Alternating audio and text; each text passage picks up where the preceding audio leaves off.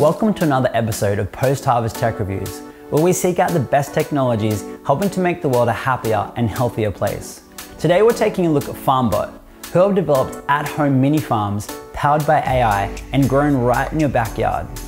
But before we get into it, if you would like to see more videos like this one, hit the like and subscribe buttons to stay up to date. FarmBot is the world's first open source CNC farming machine. It lets you map out your own farm in a gamified system using their bespoke software.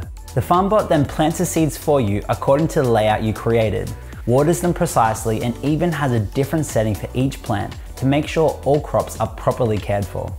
FarmBot is well suited to growing a polycrop of many common garden veggies at the same time.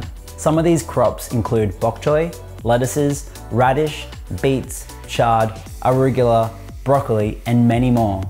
FarmBot have two different sizes you can choose from, Express and Genesis.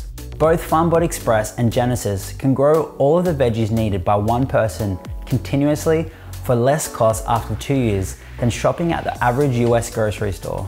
Their XL bots can serve a family of four with return on invested period as short as one year. Express is designed for the everyday user and was created to be as affordable as possible.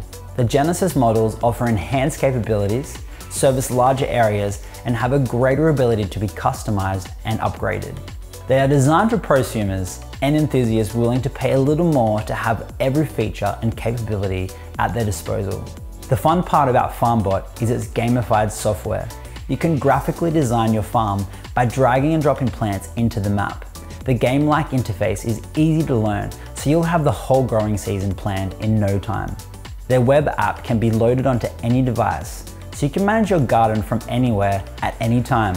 Using the manual controls, you can send movement commands, operate any of the peripherals, or even use a virtual version of the electronics box buttons.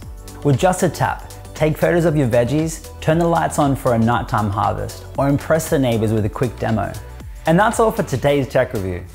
If you'd like to learn more about best food and handling practices at home, we have a bunch of free courses available on our website. And if you're into all things green, hit the like and subscribe buttons to stay updated. Together, we can help the world go a little bit greener.